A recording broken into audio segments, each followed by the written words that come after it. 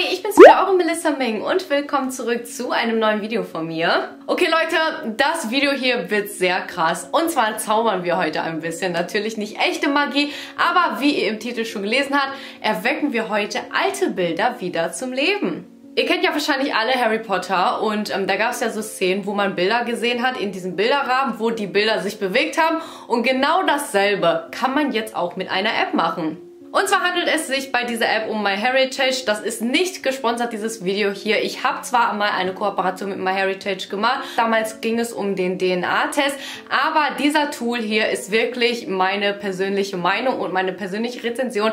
Der Trend ist ja auch schon auf TikTok bekannt und deswegen bin ich eigentlich auf diesen Trend gekommen. Und ich wollte das unbedingt ausprobieren, weil ich zum Beispiel ältere Bilder mal zum Leben erwecken möchte. Und wenn ihr wissen wollt, wie das geht, dann schaut das Video. So, ich blende euch das Ganze hier ein. So, erstmal müsst ihr das Bild machen, das ihr zum Leben erwecken wollt. Ich habe jetzt ein ganz altes genommen und zwar von meinem Opa und meiner Oma damals noch.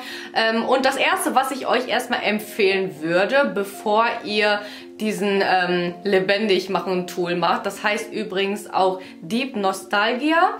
Ähm, würde ich euch empfehlen, diese App hier erstmal zu benutzen. Und zwar heißt diese App hier Remini ähm, und die macht die Qualität von dem Bild nochmal besser. Also ich würde euch das empfehlen, das ist kein Muss, aber ich finde es mega. Also ich zeige euch das eben mal kurz.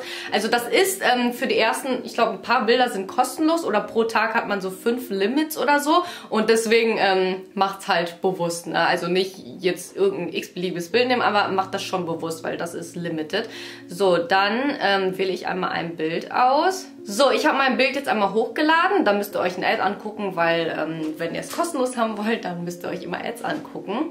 So, und jetzt könnt ihr es sehen. Ne? Ich zeige euch mal den Vergleich. Also das ist jetzt das Bild von meinen Großeltern, bevor ich es scharf gemacht habe, also in gute Qualität umgewandelt habe. Und dann könnt ihr einmal so swipen nach links und Tada, schaut euch das an, das ist so krass. Also das ist auch so eine App, die ich euch wirklich ans Herz legen würde. Vor allem auch, weil die ersten fünf Bilder pro Tag kostenlos sind, finde ich mega. So, dann speichern wir das Ganze. So, jetzt habt ihr einmal zwei Möglichkeiten. Entweder ladet ihr euch die MyHeritage App runter und macht das Ganze da, aber ihr könnt das auch auf der Webseite machen, aber wie ich es da richtig verstanden habe, gibt es da nicht so viele Tools. Ähm, deswegen habe ich mir die App gedownloadet und ähm, ich habe ja schon ein Konto, wie bereits gesagt. Dann geht ihr einmal auf die Startseite von MyHeritage, also registriert euch oder meldet euch an und dann geht ihr auf Fotos. Dann könnt ihr da Fotos hinzufügen, auf das Plus hier unten gehen Fotos hinzufügen. So, dann füge ich einmal das Bild hinzu, hochladen drücken. Ihr müsst übrigens ähm, alle Fotos zulassen drücken bei der Frage, ähm, weil wenn ihr nur aus ausgewählte Fotos macht, dann müsst ihr das immer abfotografieren. Deswegen lasst einfach zu.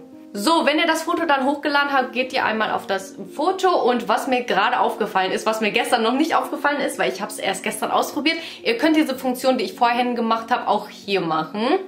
So, hier ähm, aber das andere ist halt kostenlos. Also da gibt es ein Limit, zum Beispiel 5 pro Tag. Und hier ist es, glaube ich, so, das kostet nach einer Zeit. Also deswegen bei MyHeritage hier, überlegt euch gut, welche Fotos ihr nehmt, weil ähm, ich glaube wirklich, das ist wirklich sehr, sehr begrenzt. Aber machen wir es mal. Jetzt mache ich das einmal so. So, ich habe das jetzt nochmal aufgebessert mit diesem Verbesserer von MyHeritage, aber jetzt kommen wir erst zu dem richtigen Tutorial von den animierten Bildern. So, ihr geht einmal auf dieses ganz linke Symbol, dieses runde, dieser runde Kreis und jetzt könnt ihr ein Gesicht wählen, was ihr animiert haben wollt. Ich mache mal erstmal meine Omi. Das dauert dann ein paar Sekündchen. Und tada, Leute, oh mein Gott, das ist so krass, ne? Also, ich glaube, ich habe selten so eine krasse App gesehen, vor allem wenn ich mir so denke, wie weit die Technologie schon ist. Das macht mir schon fast Angst. Ich habe immer diese Harry Potter Bilder gesehen und fand das übelst toll, aber ich hätte niemals gedacht, dass wir es wirklich irgendwann mal schaffen, das zu machen. So, ihr habt hier in der App verschiedene Animation, also das war jetzt die siebte. Ihr könnt auch zum Beispiel die 1 auswählen, das ist dann ein anderer Gesichtsausdruck auch. Also nicht ein anderer Gesichtsausdruck, ich meine, die gucken irgendwie anders. Also schaut einfach selber. Guck hier zum Beispiel. Das ist jetzt zum Beispiel die 1 und ihr könnt euch ausprobieren. Also es gibt insgesamt neun, nee, zehn Stück. Zehn Animationen. So, und dasselbe mache ich jetzt nochmal bei meinem Opa. Oh Leute, das ist so krass. Vor allem die Sache ist einfach, ich kenne meinen Opa zwar, aber ich weiß nicht, wie er in jungen Jahren aussah, ne? Aber durch diese App kann ich mir das so gut vorstellen. So, jetzt mache ich auch nochmal bei ihnen. Ich probiere mal jetzt die 3 aus. Die Animation 3. Mal gucken, wie das aussieht. Das sieht so krass echt aus. Ich komme übelst nicht klar, ne? Oh mein Gott, that's so, oh mein Gott, amazing. Und können wir mal bitte sagen, wie schön er war? Oh mein Gott, das ist so schön. Ich habe das gestern auch meiner Mom übrigens geschickt und sie fand es halt übelst krass. So, ich glaube aber, man kann das wirklich nur für eins oder maximal zwei Bilder machen. Deswegen, wie gesagt, macht das wirklich mit Bedarf pro Konto. Und wenn ihr vollen Zugriff drauf haben wollt, ähm, dann kostet das 150 Euro im Jahr Premium Plus und komplett 200 Euro ist sehr viel Geld. Aber wenn ihr das öfter machen wollt und zum Beispiel nicht nur ihr selbst das benutzt, sondern zum Beispiel eure Eltern das auch benutzen wollen, ja, vielleicht lohnt sich's denn. Müsst ihr für euch selber entscheiden. Und ja, Leute, ich hoffe, ich konnte euch mit diesem Video hier ein bisschen helfen, weil ich hatte nachgeguckt und es gibt wirklich kein deutsches Tutorial momentan auf YouTube. Ich glaube, meins ist sogar das erste auf Deutsch. Es gibt auch, glaube ich, auf Englisch oder so.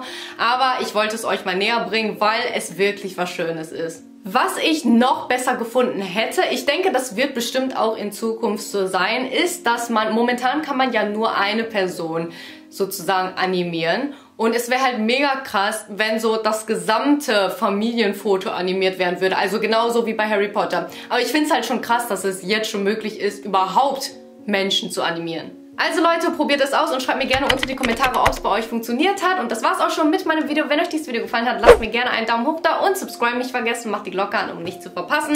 Folgt mir gerne auf Instagram, ebenfalls nicht zu verpassen. Dann würde ich sagen, wir sehen uns das nächste Mal.